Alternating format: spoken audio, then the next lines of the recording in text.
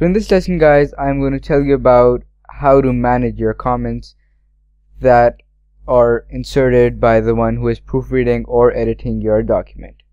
So once you're done with this document and send it for proofreading, the one who is proofreading your document may add some comments that you need to modify this document such as he may add a comment that bold this particular line of text or word and put it in italics give it give one line space add a new paragraph and so on. So first of all in the previous lessons in module 2 I demonstrated how you can add comments and how can you reply to the comments and so on. And now I'm going to tell you that how you can manage those comments. So first of all we'll go to review over here. And you can see that we have the comment section on its own.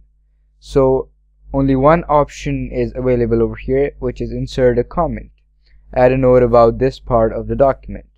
And the other options are blurred because we don't have a comment up till now and we cannot delete a comment because not a single comment exists. We cannot move to the previous one we cannot move to the next one and we cannot also show the comment because we don't have any. So let's insert a comment over here. So first we need to highlight a piece of text. For example let's highlight this internet of things and new comment. So at this place I can add a comment or the proofreader add will add a comment let's say so the comment will be please bold this text as well. Great. Now a person has added a comment let's assume. And he also adds a comment over here recognize that add new comment that please increase the size of this word. Or let's say increase the font size of this word. Okay great. So now I have two comments on this word document. And moving on with the first comment for now I can either reply to this comment or resolve this comment.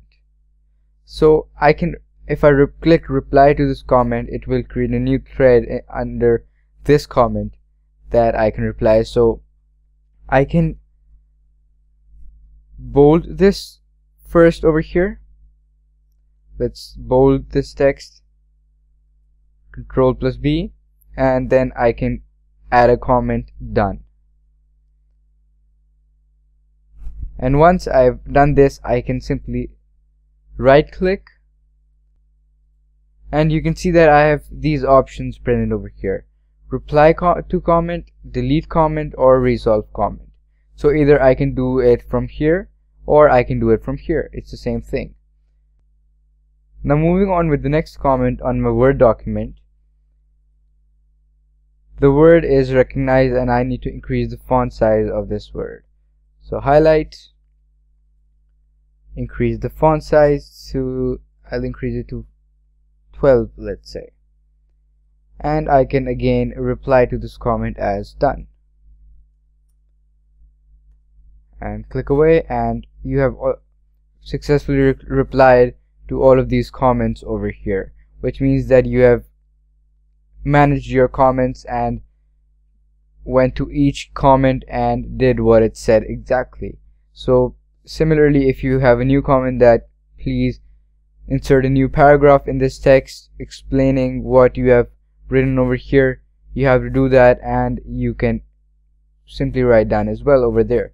So this is how you can manage your comments efficiently and easily. And this is how you can work proficiently with Word 2016 so I hope you enjoyed. I hope you like this lesson. This was just a recap of what we did in one of our previous lessons in which I told you that how you can insert comments so stay tuned stay focused and let's move to our next lesson.